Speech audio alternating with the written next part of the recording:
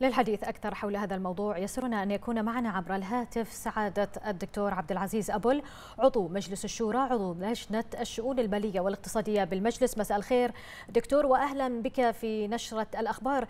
كيف يؤثر تطوير قطاع النقل البري على الاقتصاد والخطط التي وضعت في هذا الشأن؟ حتما هذا الموضوع مهم جدا ونشكركم على التطرق له. لأن يعني بشكل عام نحن نتحدث عن حركة المرور أو حركة النقل على البنيه التحتية هي بالتحديد حركة حركة تنقل عناصر الإنتاج. يعني الإنسان اللي في السيارة يا أما يكون مستهلك يا أما منتج يا أما موظف يا أما مدير.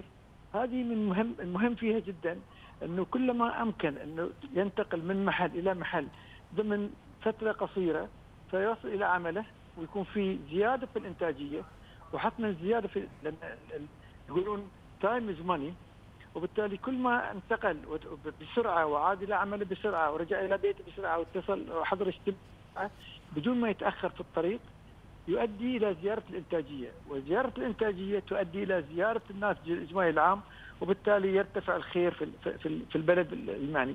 إحنا في البحرين الحمد لله حضرنا الله بمساحة يعني جيدة وأيضا في بنية تحتية متقدمة جدا تضاهي أب يعني أفضل البنيات التحتية في كل الدول الصناعية.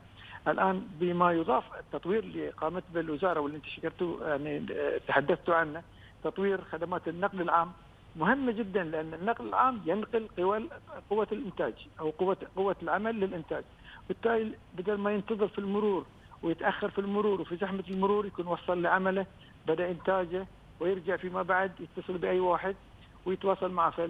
فالحركة هنا المهم الحركة لها علاقة بالإنتاجية وحتما لها علاقة أيضا بالكلفة.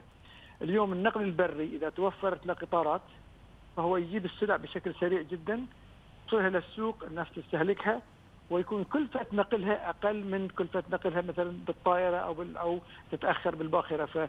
فالوقت والثمن ينخفضون وبالتالي يزيد الناتج الإجمالي العام ويزيد رفاه المواطنين لأن الأسعار تنخفض يرتفع مستوى المعيشة ويتأثر طبعا إيجابا الاستقرار لذلك الحقيقة الحكومة الموقرة بهذا التوجه هذا يخدم الاقتصاد ويعزز من سعته أيضا يوسع من نطاق تواجد القطاع الخاص. يعني مثلا في مناطق معينة يكون بعيدة لما يوصلها القطار أو توصلها السيارة لأن في في شارع سريع هذا يعني إنه أيضا الشركات ممكن تنتقل إلى مواقع معينة مناسبة تنتج وتنقل سلعها إلى السوق بالتالي المستهلك يجدها في وقت قياسي وليس في وقت طويل.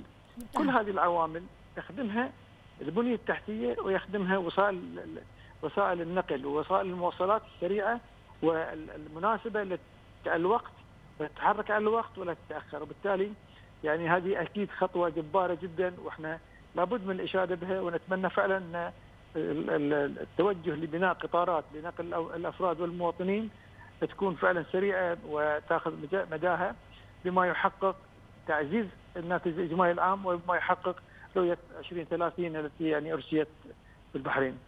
نعم سعادة الدكتور عبد العزيز أبو العضو الشورى عضو لجنة الشؤون المالية والاقتصادية بالمجلس شكرا جزيلا لك